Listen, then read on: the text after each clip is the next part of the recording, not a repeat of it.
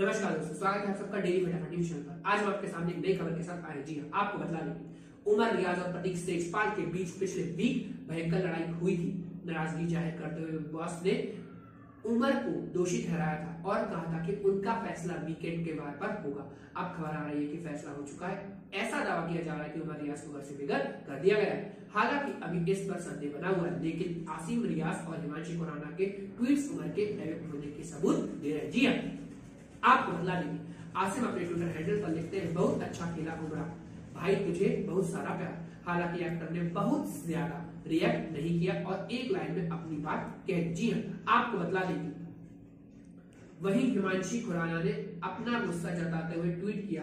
वो कही, वो वही कहते हैं जो वो करना चाहते हैं। जी हाँ आपको बता दें कि बिग बॉस फैंस का भी जमकर गुस्सा फूटा है बिग बॉस पर। जी हाँ उन्होंने बोला है कि if there is no Umar Riaz then there will be no big boss votes करवाओ और फिर निकाल दो और डांट डपट कर मेंटल हेल्थ भी खराब कर दो।